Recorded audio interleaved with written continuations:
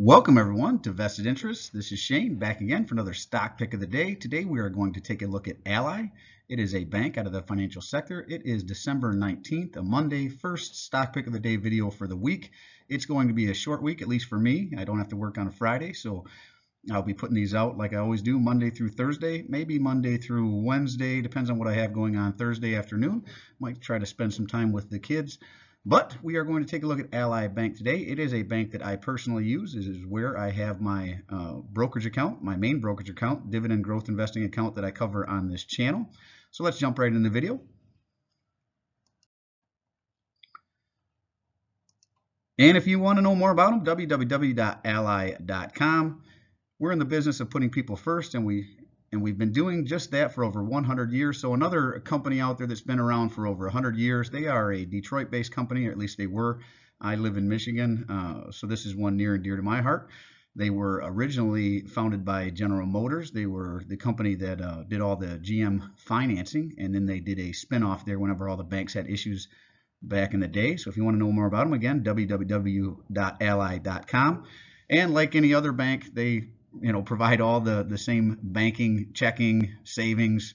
My both my daughters' uh, custodial accounts are with them. My like I said brokerage account. So all of the major banking options that you would have with any other bank, Ally offers as well. They're top 25 financial institution, 189 billion under asset, uh, assets under management, and 10.5 million total customers.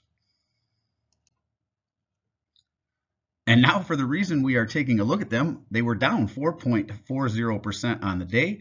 We are talking about Ally Financial, ticker ALLY, out of the financial sector. Closed the day out at $23.47. Looks like in the after hours, at least uh, a little after 5, whenever I started doing some research on what companies were down today, they are still about uh, flat in the after hours, 23.47 there. 52 week range as low as $23.32, as high as $53.83. So they are right up against that 52 week low. They bust through it, they may drop uh, significantly lower, and we'll see if there's any estimates for lower uh, on the next slide whenever we look at that one. Average volume 5.2 million. Today was 6.5 million, so a little more volume today than average, but probably a lot of selling. You can clearly see that sell off here. Looks like about till about midday, a little bit of a recovery, and then further sell-off. Right, was down even further at one point and then leveled off there at 23.47 to end the day. Market cap of 7.009 billion, a beta of 1.24, so it is more volatile than the overall market. Again, you can see that volatility. PE ratio 3.91. But again, for banks, you want to go in and look at their financials, uh, statistics. Yahoo Finance is where I pull this information, not affiliated, just where I like to go for information. But if you went to this tab here, statistics, you know, go to Yahoo Finance, look up Ally, click on statistics. What you want to look at for banks is price to book. You'll see it right at the top uh, under this tab here. And their price to book is a little under one. You want one is, you know, pretty much fair value or a little over one might be fair valued depending on the bank. Anything under one is typically undervalued, right? But you also want to go into their financials, look at free cash flow, you know, look at are they growing over time? Is, is free cash flow growing? The other things you want to look at is their payout ratios. We'll see that here in a minute. But this is one again. I'm uh, heavily invested. You'll see that as well. I am investing in Ally myself, not just where I keep my money, but I am actively buying shares in the company. But I'll show you that in a minute. So earnings per share is $6 per share. Earnings date, the next one is around January 20th. For dividends, $1.20 paid out on the year. They do pay out quarterly, so divide by four. We'll see that quarterly pay, payment here in a minute. I believe it's 30 cents uh, per share. 4.89% dividend, very nice dividend. And as this pulls back, that dividend yield actually gets a little higher. Now, I want to touch on yield real quick. I don't recommend chasing yield just because you have a high yield does not necessarily mean to buy a stock. But if you find a, a, stock in a good company, right, that has pulled back, like Ally Bank, for example, or like Intel or HPQ or several others, that has a higher than normal yield, that's another thing you would see if you went to the statistics tab. You can go down towards the bottom of this tab, and you would see their five-year average dividend. If their dividend is above, right, their average, like right now, 4.89%, is above their five-year average. That means according to the dividend uh, theory, dividend payout theory, that they are undervalued, right? That's a quick way to kind of see are they are they paying higher than their five-year average? Then they're undervalued. If they're paying lower than their five-year average, that might speak to some uh, overvaluation, right? So that's just one quick way to look at it. It's the dividend theory, right?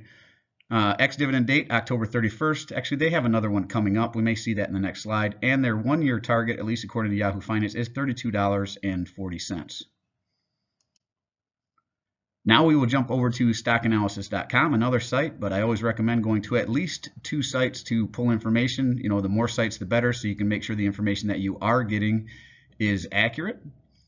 And according to the 26 stock analysts they've had take a look at it, they call it a consensus buy. Now, if you do go to stockanalysis.com, that's this site again, not affiliated, but if you were to touch each one of these, click on these with your mouse, you would be able to say how many of these 26 analysts call it a buy, how many would call it a hold, how many might call it a sell, right? You'd be able to see that breakdown. But according to that, the majority of them are in the buy range, right?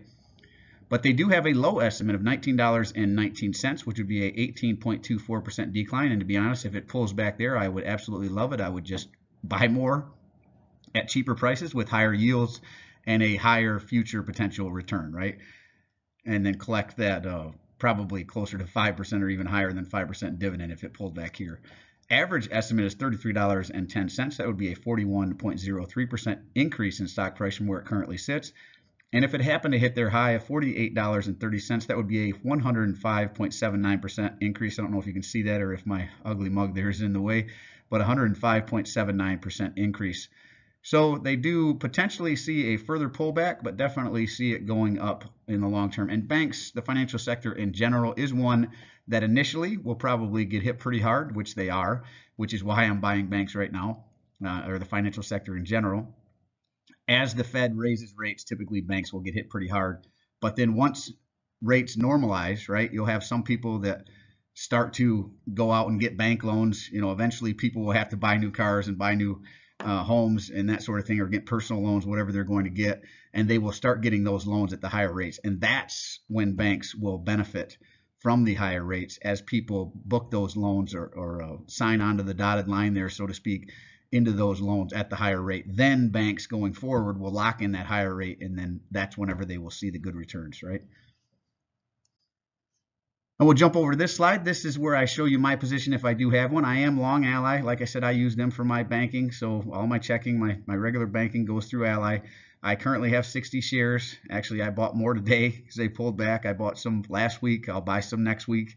Uh, probably as they pull back. I, I want to get this to probably like 120, 130, maybe 140 shares, and then I'll, I'll stop buying. I've been adding about 10 per week. They were.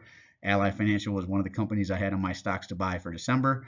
Uh, I thought banks would pull back as the Fed continued to raise rate. I also thought the Fed would continue to raise rate. They did 0.5%, uh, down a little bit from the 0.75 they've been raising it, but still raising it. I, I foresee them raising it into next year as well. I don't foresee them stopping until uh, interest or inflation starts coming down significantly. We need to see, you know, four, two, three, four quarters of interest rates coming down before I believe they'll stop raising rates. So I, I believe banks will continue get, to get hit hard until the Fed stops raising rates, and then they'll probably normalize. And then, like I said, as time goes on and people start booking those new loans, uh, banks will recover nicely. Now, my position is, like I said, I have 60 shares currently. I have $1,510.66 currently into this position. I am down 6.78%. I keep buying as it goes down. I, I keep decreasing this cost basis. My cost basis is $25.18 here. I've lost $101.86 and it's 23.48. So again, I'm hoping it stays in the red so I can continue to buy these at cheaper prices. They are a quarterly payer. They have a very low payout ratio, 19.2%. That's part of the reason that I bought them as well but they also have that paired with a very high dividend growth rate, 36.36%. I believe this is one of the fastest dividend growth rates in my overall portfolio. So not only do they have a high dividend yield, they have a high dividend growth rate. And again, their last uh, payout was November 1st, right? Or November 15th. Uh, record date was November 1st, and they do pay out 30 cents per share per quarter. Well, that is it. These are supposed to be quick hitters. That one ran a little bit long because I do uh, personally bank with Ally, so I wanted to touch on it a little bit more and give my personal experience and opinion with the company. As always, appreciate you stopping by. If you haven't done so already, don't forget to show me some love. Hit that thumbs up, ring the notification bell. Most importantly, subscribe to the channel if you haven't done that already. If you're watching the videos and you haven't subscribed, do me a favor, hit that subscribe button. It doesn't cost you a dime takes about a second and it really helps out a small YouTube channel like mine. All right, they do have algorithms out there, so the more you like the videos, share the videos, comment on the videos, the more this video will get uh, shared with other people, and that will help me grow over time. Uh, drop a comment down below. Let me know what you think of Ally. Are there other banks in your portfolio? I have other banks as well. Bank of America, Huntington Bank, uh, Prudential is another financial company that I like in my portfolio. So there are other banks out there as well. So let me know what your preferred bank is or what you use for your banking or your brokerage account. Love to hear that. I do personally read and respond to the comments. I'm always interested to read your questions, opinion, suggestion for future topics, or constructive criticism. Go ahead and drop it all down below. And this is Shane signing off, wishing peace and prosperity to you and yours. And remember, financial security comes to those who take a vested interest. Hey, hope you have a great week. Christmas is coming up, so if you haven't finished your Christmas shopping, better get out there and get it done. I hate this time of the year. Any uh, store you seem to go into seems to be booked with booked, packed, full of people uh, trying to get their last minute shopping in. So if that's you, get out there and get it done. All right, we'll see you in the next one. I'm not a financial advisor. Nothing in this presentation should be considered financial advice. I'm only sharing my opinion investing journey for educational and entertainment purposes. Investing involves risk and can lose money. You should never invest any amount you're not comfortable losing. Always do your own research, invest based on your situation, circumstances, and selected criteria, or seek the advice counsel of a certified financial advisor.